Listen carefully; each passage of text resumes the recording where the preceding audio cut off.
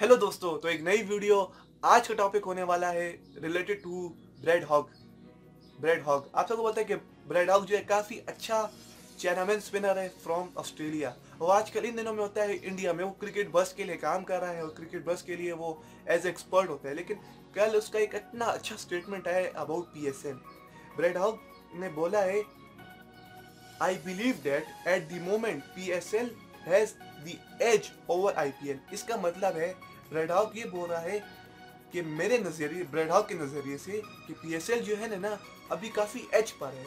IPL से। क्योंकि वो वो अपनी इस स्टेटमेंट में बोल रहे हैं कि पीएसएल में काफ़ी अच्छे अच्छे बैट्समैन मुझे देखने को मिले बॉलर्स मिले फॉरेन प्लेयर्स मिले और काफ़ी बोलते हैं ना कॉम्पैक्ट गेम ऑफ़ क्रिकेट देखने को मिले बैट्समैन अच्छी मिले ग्राउंड भी उसको अच्छे देखने को मिले। तो ब्रेड हॉग का ये स्टेटमेंट काफ़ी अच्छा है, क्योंकि ब्रेड हॉग ने इंडिया पे बैठ कर वो इंडिया की जो वेबसाइट है ना क्रिकेट वेबसाइट जिसका नाम है क्रिकेट बस उस पर बैठ कर उसने ये बोला है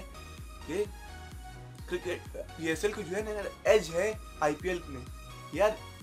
आप जितना भी पैसा लगा लें, जितना भी कुछ कर लेना अगर आपके आपके प्रोडक्ट अच्छा नहीं होगा ना तो वो दुनिया नहीं देखेगी। आई पी एल एक मानता हूँ, बहुत हेड प्रोडक्ट है, लेकिन अब खुद जो इंटरनेशनल प्लेयर्स हैं वो भी पीएसएल की तारीफ़ करी कि पीएसएल में अच्छी गेम ऑफ़ क्रिकेट देखने को मिली, अच्छे मैचेस देखने को मिले, अच्छे बॉलर्स मिले, अच्छे स्पिनर्स मिले, काफ़ी अच्छी अच्छी गेम तो ब्रेड हॉग का स्टेटमेंट काफ़ी मुझे अच्छा लगा तो well done Brad Brad Hogg और आज की वीडियो में इतना ही। प्लीज़ मेरी वीडियो को लाइक करें और मुझे इस तरह सपोर्ट करते रहे कि मैं आप लोग के रोज़ क्रिकेट ओपिनियन क्रिकेट न्यूज़ या कुछ ना कुछ हम इस चैनल पर करते रहे। तो मिलता हूँ अगली वीडियो में। टेक केयर अल्लाह हाफिज़।